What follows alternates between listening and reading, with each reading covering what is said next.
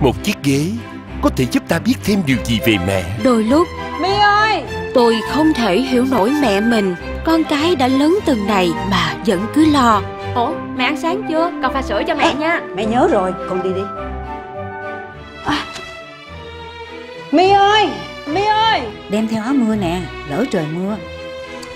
Cảm ơn mẹ. Con làm được rồi. Con đi nha. Lo hết đời con Lo sang đời cháu. Bà ơi xong chưa? Bà xong rồi. Yeah.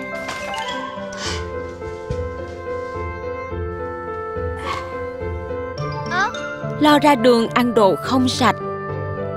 Lo về nhà ăn không đủ no.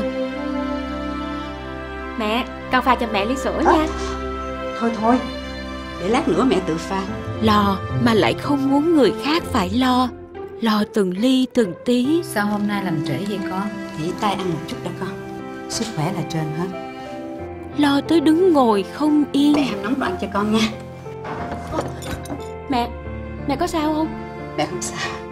Mẹ ngồi nghỉ đi Con pha cho mẹ ly sữa nha. Thôi mẹ tự làm được. Mẹ cứ để con.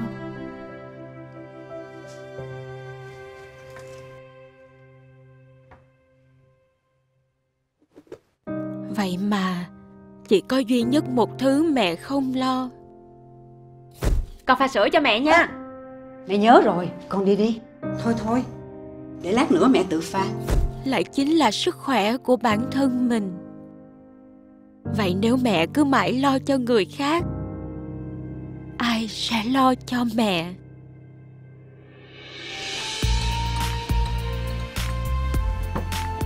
Mẹ uống đi cho khỏe. Bé này Mẹ có sao đâu. Nhà còn bao nhiêu chuyện khác phải lo. Mẹ à những chuyện khác để sao cũng được. Sức khỏe của mẹ mới là trên hết. Ai mẹ cũng dành lo hết. Phải để con lo cho mẹ chứ. Phải có sức khỏe Thì mới lo cho người khác được Đúng không mẹ? Vì con, cha mẹ quên bản thân mình Hãy chăm lo cho cha mẹ. Sức khỏe là trên hết. Nếu đứng lên từ ghế khó khăn Khả năng cao cha mẹ bạn không thể đi lại sau 70 tuổi vì mất cơ.